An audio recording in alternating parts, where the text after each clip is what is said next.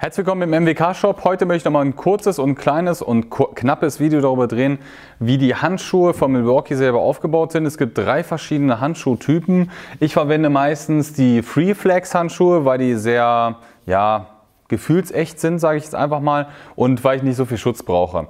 In vielen anderen Bereichen benötigt man vielleicht stärkere Handschuhe. Die zeige ich euch jetzt aber nach dem Intro.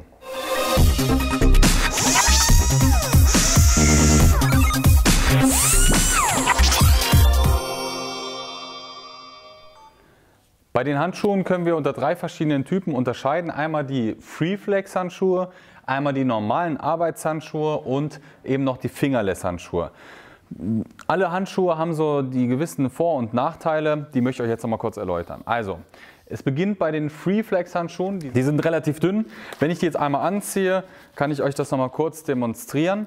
Ihr habt hier vorne einen kleinen Milwaukee Stick, ja, der ist auch in schwarz, natürlich auf einer schwarzen Fläche, das sieht man immer relativ schwer. Ihr habt hier vorne nochmal so ein etwas weicheres, dehnungsfähiges, dehnungsfähigen Stoff.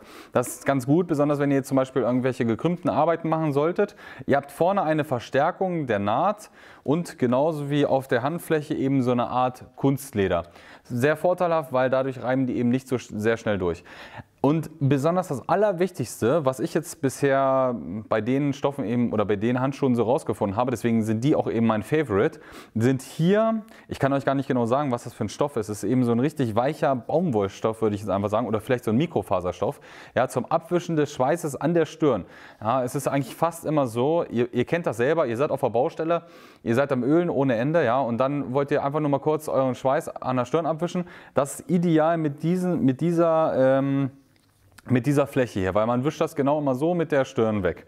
Gut, das sind die kleinen Vorteile bei, Vorteile bei den Handschuhen. Gehen wir mal weiter zu den anderen Handschuhen. Zu den normalen Arbeitshandschuhen, das sind die etwas klobigeren oder dickeren Handschuhe.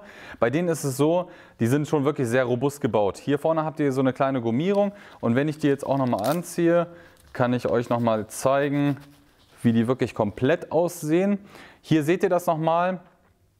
Hier diese feste Gummierung, das heißt, selbst wenn ihr irgendwelche Schläge darauf abbekommt, ist eigentlich soweit alles safe. Ihr habt nochmal ein etwas dickeres Material als bei den normalen Freeflex-Handschuhen. Ihr habt ja auch viele Nähte und Einnähte, genauso wie, der, wie diesen äh, dehnungsfähigen Stoff, der auch wirklich ganz gut ist zum Arbeiten. Genauso wie der kleine Vorteil hier, dass besonders partiell bei den sehr stark genutzten Handflächen hier nochmal eine Gummierung drauf ist, besonders auch um den Grip zu erzeugen, falls ihr irgendwelche schweren Sachen tragen müsst. Genauso wie hier, hier reißen ja die meisten Handschuhe Handschuhe als erstes und hier habt ihr eben auch nochmal eine kleine Gummierung oder eben eine Verstärkung, damit das Ganze nicht reißt. So, das waren die Arbeitshandschuhe. Jetzt gehen wir nochmal weiter zu den Fingerless Handschuhen. Die sind eigentlich fast identisch mit den normalen Arbeitshandschuhen. ihr habt eben nur die Möglichkeit, dass sie eben, wie gesagt, fingerlos sind. Das heißt, ihr habt mehr Gefühl beim Arbeiten. Und das könnt ihr hier auch nochmal sehen. Ich habe jetzt nochmal so als Beispiel gesagt, immer die Größe 11. Ich bin noch ein sehr großer Mensch, habe auch sehr große Hände. Ähm, 10 ist so mehr die Durchschnittsgröße und auch die meistverkaufteste Größe.